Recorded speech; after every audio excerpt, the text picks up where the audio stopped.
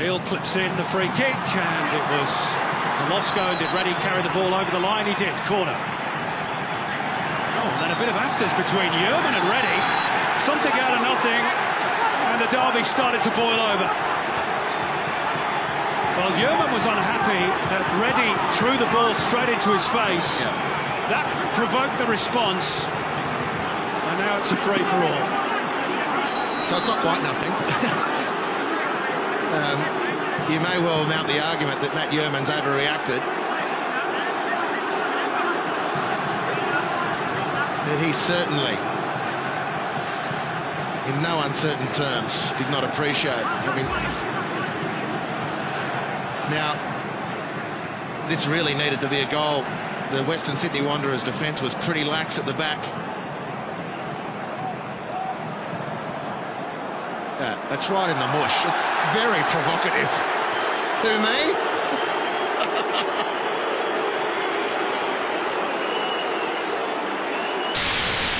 Bank of Victory fans, proclaimed by Dean Bouzanis.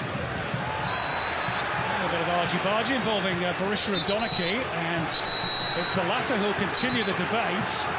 Ryan Kale and Berisha have got arms raised which could draw the referee's attention. Doesn't need much to fire at Besart Berisha, particularly as James Donachie starting his third consecutive game. Bouzanis trying to barge the opposition out of the way so he could release the ball. Victory weren't having it. Put him. Here's Brandao. He's trying to take two on. And he falls, gets the free kick. Well, and then there's some afters involving Jason Geria, who's booked, and it's on again. And I think it's the fact that Brandao may well have been fouled, milked the attention, and that's provided the spark once more.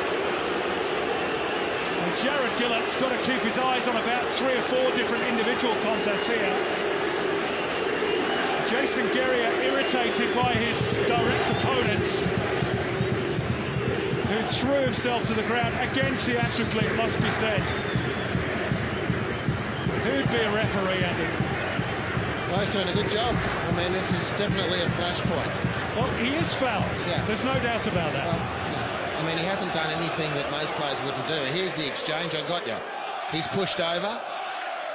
Jason Geria actually saves the goal, clearly. That's a foul throw, isn't it, by Franjic? Definitely a foul by Troisi. Here we go again. Push and shove. Linesman trying to get in the middle of them.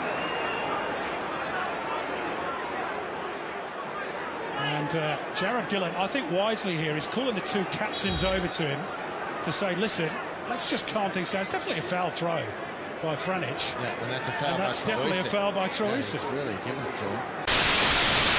To go top of the A-League ladder, completely outplaying the home team thus far.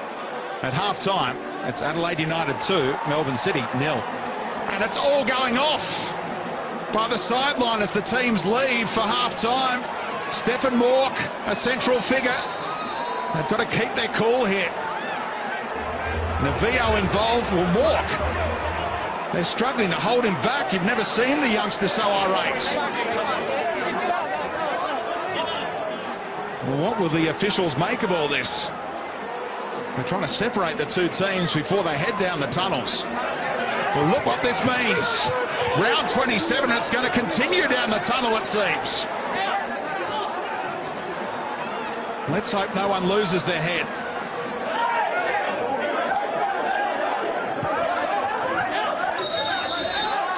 And the whistle from Strebre Delovski trying to calm things down. We've got some cool heads like Eugene Galekovic. Well, they've got to get in there and sort this out. Relax is the cry. And we've got so much to talk about, including this, right after the break. Amazing scenes. What it means to these teams. Final round of the season, Stefan Mauk.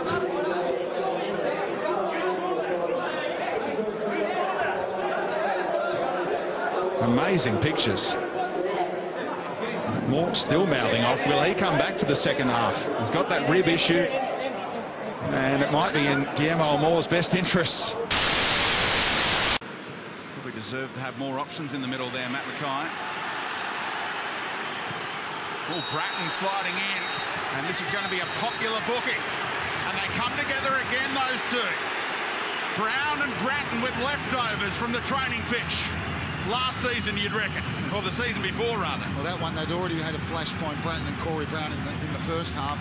There was a few right on the limit challenges leading up to that. that was one of them on Tim Cahill, and then Brattan just throws himself in on Corey Brown, cleans him up. Yellow card's the right decision.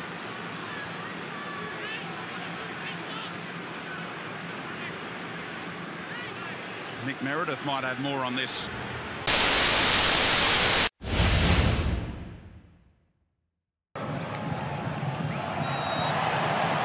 Ninkovic, who's angry with Carl Valeri. Oh, it's all kicking off here. Got to be careful.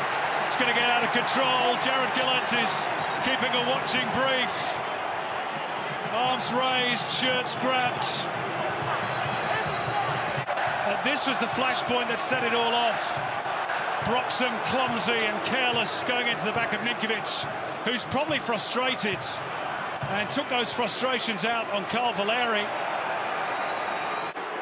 And James Troisi has gone into the, I think Yep. it's Troisi, Yeah, not, it is. not Broxham. No, no, it's Troisi, and it, it's Troisi leapt to the defence of his of his captain. Well, is that a, is that a, a case of mistaken identity, maybe? I don't know. No, no, but, uh, well, we both. Because thought- surely Broxham is the one that should be booked, if anybody, for the challenge. Well, it's maybe the last kick of the game. A yellow card has been issued to Pascal Bosschaart, clearly for something said. Liam Reddy picked up a yellow ticket too for arguing in the aftermath of that goal. Quite incredible drama at the death here at Suncorp Stadium. Brisbane looked beaten for all money. But credit to their spirit again. It's all over. Brisbane Roar have won it. Two late, late goals. Absolutely unbelievable. Berisha and Pascal Bosschaart continuing the argument. I tell you what, this is going to kick off if we're not very, very careful. Liam Reddy has head over and he's involved in a push and shove with Mitch Nichols. It was Besart Berisha who actually sparked that little row, and this is all getting very, very ugly indeed. Berisha was incensed by something that Bosschaart had said and invited him to come down the tunnel and take it outside. And it's still going on. Quite incredible scenes at Suncorp. Well, after scored the winner, they went back to halfway. Berisha ran up to Franjic, just... And it's still going. But he was jesting to Bosschaart about something, and Bosschaart said something. And Then all of a sudden, Berisha had his shirt off and he was away with everyone following him. Well, Bosschaart was quite happy to follow Berisha down the tunnel, and that's why everybody else got involved. Well, that one's going to run for some time. Dave Mason, the... Uh... Well, here it is again. Besart Berisha, in celebrating the goal, takes his shirt off, goes over to Boscar and says, come on, Let's go outside. let's sort this out outside. Dear, who would you back in that? Not that we should be putting uh, any fun into it because it's not what you want to see. And only, well, Pardaloo sort of gave us a glimpse of, you know, something's happened in the past, obviously at Cogra when they won that game, but Boschgard. And they haven't forgotten it. Berisha with the late winner.